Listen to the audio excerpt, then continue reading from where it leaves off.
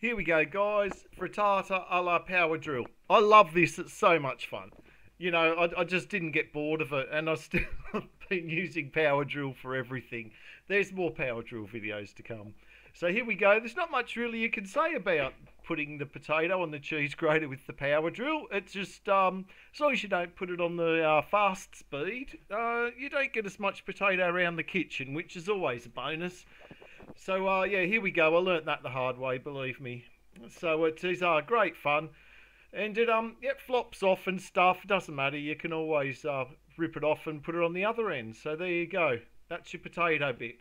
So yeah, this just went on forever. It was good fun though. I loved it, and I still can't believe it now. I still laughed even when I was putting the video together. But uh, yep, and there you go. They often come flying off, and that's all part of the fun as well. So there we go. So. We've nearly done all our potatoes, so what I was doing is boiling some water in the background. I was also cooking some chicken in the background as well. So now we've got all our potato grated up, and uh, yeah, there you go. All the little core bits, you know, you can do them by hand at the end if you like. No point chucking it away. So just you don't want to, uh, boil them till they're too soft because otherwise they just go into mush when you put them in the sieve. So here we go. We drain them out a bit.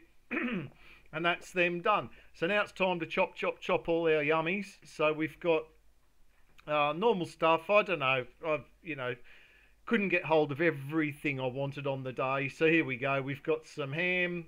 We've got some chorizo. You could depends if you're playing Italian or if you're doing some Spanish or whatever. You know, just do what you want. Put all your old favourites in there.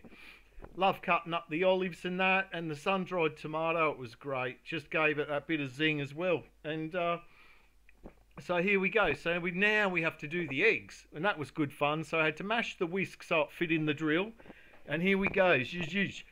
And off we go. It was good fun, and I managed not to get too much around the kitchen. That's always a bonus as well. So we go.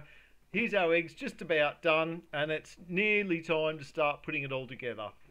So I had some uh, big, had the big pan on, using coconut oil.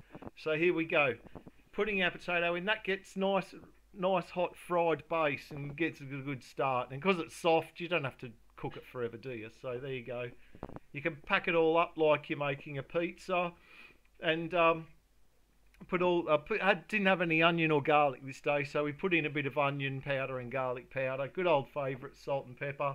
I just poured the egg over and uh, then covered it all really low heat, stuck the cheese on and then put the lid on and uh, cooked it nice and slow.